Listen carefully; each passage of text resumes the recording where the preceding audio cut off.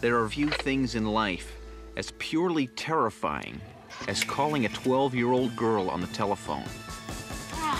What would you do if I sang out of tune? I am the executive producer of the Wonder Years Reimagining. Oh, baby, which tells the story from the perspective of a black middle class family in the late 60s in Montgomery, Alabama. One thing I love about this show is that it captures the essence of what life is really like in 1968 Alabama. Plenty good black colleges out there too, you know. She can go to Spelman. No boys. It's a win-win. For who? Win, win.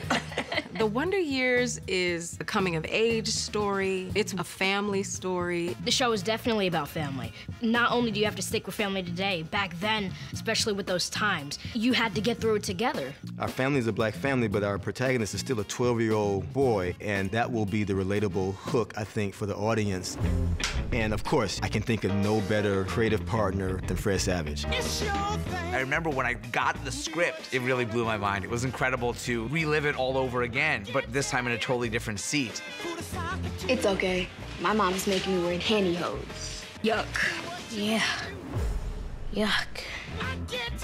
While the environment is different, the point of view of a kid growing up is the same.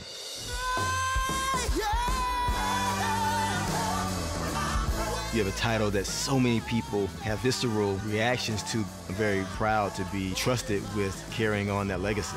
I've always wanted to put out the great side of black people, and um, it's something I've been wanting to do for a very long time.